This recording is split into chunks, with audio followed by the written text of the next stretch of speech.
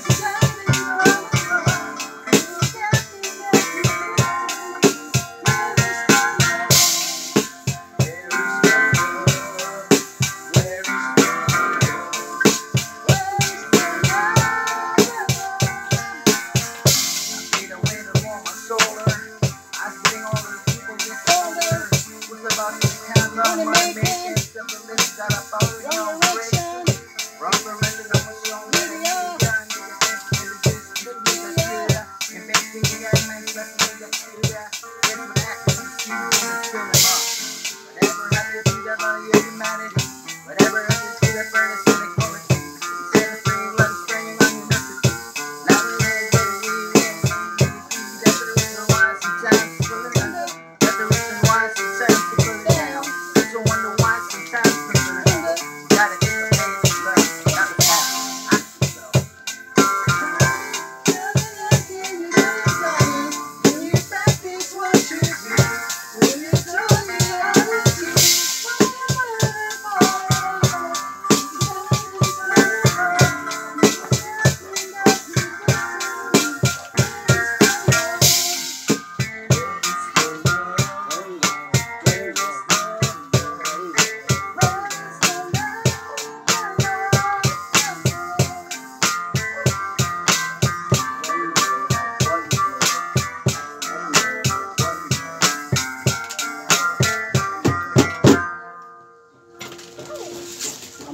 Kulukoy, kulukoy. Eh, Yo, that was Eric.